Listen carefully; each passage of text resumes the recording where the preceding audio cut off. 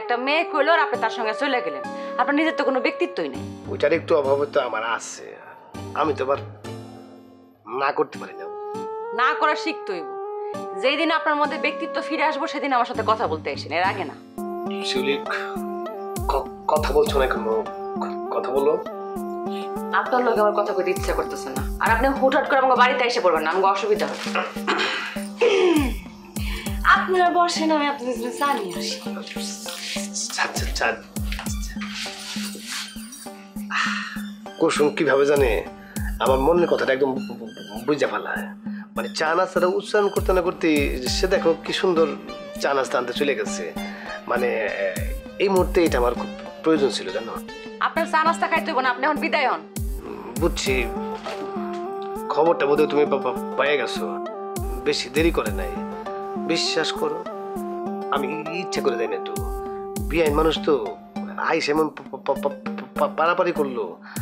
আমি অনেকবার বলছি, আমি যাব না যাব না যাব না, আমার কথাই শোনে না। মানে এত মানে মানে ট্রেনে হেসরাই আমাকে নিয়ে গেছে মানে বলছে যে আমাকে তাকে প্রোটেক্ট করার জন্য। একটা পুরুষ হিসাবে তো একটা দায়িত্ব আছে, একটা মেয়েকে প্রোটেকশন দেওয়া, তাই না?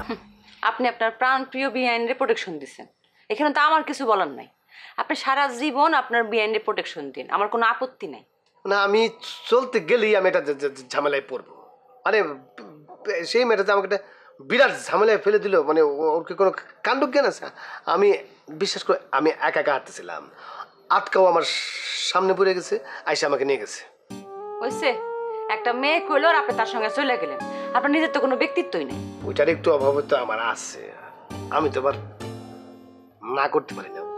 না করা শিখতে হইব যেই দিন আপনার মধ্যে ব্যক্তিত্ব ফিরে আসব সেদিন আমার সাথে কথা বলতে এসেন এর আগে না। তোমার কথাই ঠিক।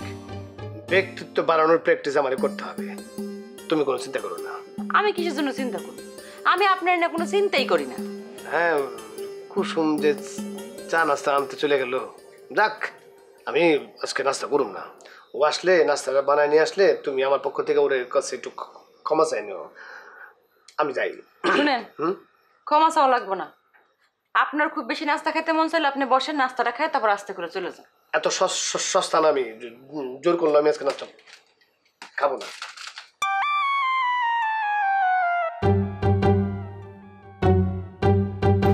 আবার এসেন কেন? দেখছ ব্যক্তিত্ব কে- কেমনে বাড়াইছি থাক। ব্যক্তিত্ব বাড়াইছে মুখ দিয়ে নাস্তা খাওয়ালে লালা পড়তেছে আবার কই ব্যক্তিত্ব হাজির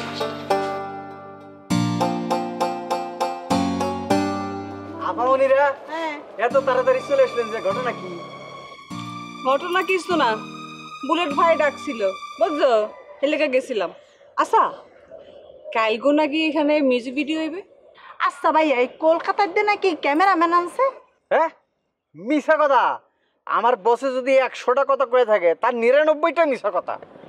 এখন এই যে মুখ বাবলি তো এতে কাজ করবে না।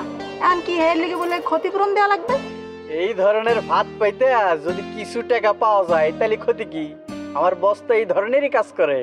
দেখছ কত বড় বাটপার হ্যাঁ? মরে কইলে কি? যে মরে নিয়ে মিউজিক ভিডিও বানাবে হ্যাঁ? কত রং ঢং করবে।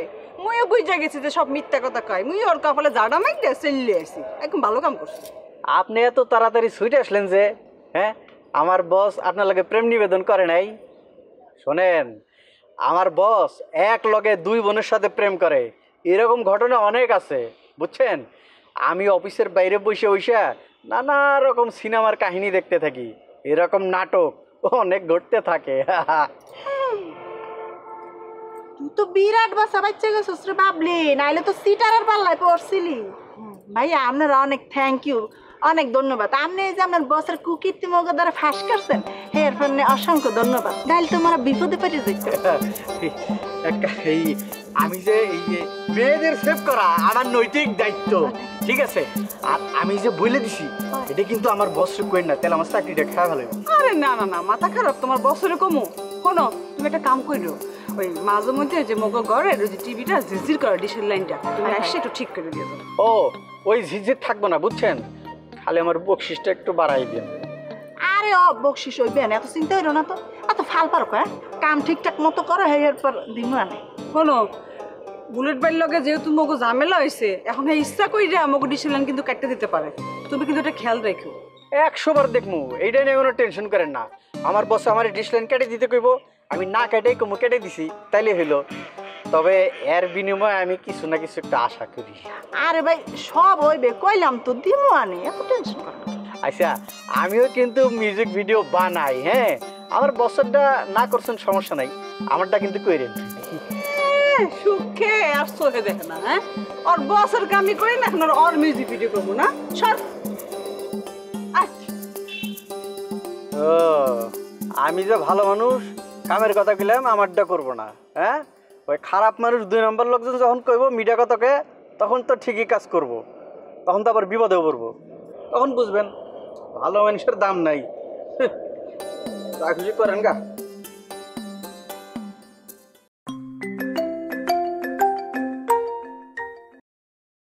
হ্যালো। কি ময়না পাখি তুমি কি করো? আমি নৃত্য করতেছি।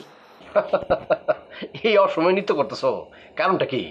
কারণ হইলে কুসুমের সাথে শামসুর প্রেমের ভাঙন।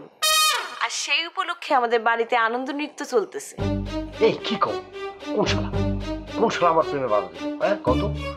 কোনো শালার কারণে না শামসুর কারণে। শামসুর নিজের আজকাল যেসব কাজকর্ম করে এই ধরনের একটা গুন্ডার সাথে এই পরিবারের মেয়েরে কেউই বিয়া দিবে না। আজারের কথা বলো আজারের কথা বলো। গুন্ডা গুন্ডা। কিসে কে কে কে কে কে গুন্ডা? আরে মিয়া বেবি রাজি তো কে করো কাজী তুমি আজকে চলে আসো না। বিয়ে করে ফেলাই। দুজনেই অ্যাডাল্ট সম্ভব না।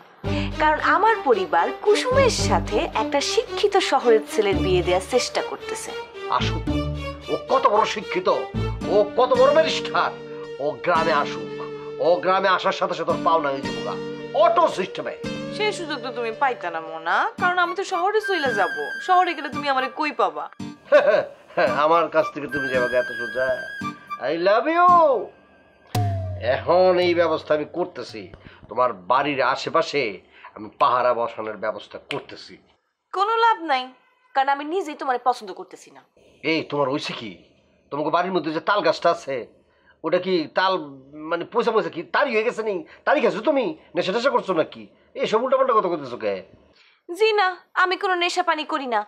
আমি আমার মনের কথা তোমার জানাই দিলাম। তুমি মাঝে মধ্যে এই ধরনের উল্টাপাল্টা কথা কও হ্যাঁ? আমার গাছ উঠায় তুমি এই ধরনের উল্টাপাল্টা কই আমার মাথা খারাপ করো হ্যাঁ? আমার মই- সরা নিতেছ। আমি এখনই আইতাছি। কি মনে করছ? গাছের মধ্যে আমার উঠায়া মই সরা নিবা? পাগল একটা। কাবির এই হোস এই মাঝে মধ্যে কি যে করে ওর ওর মাথার মধ্যে যে কি থাকে আমার ফাইজলামি করে নাকি সিরিয়াস কিছুই বুঝতে পারতেছি না।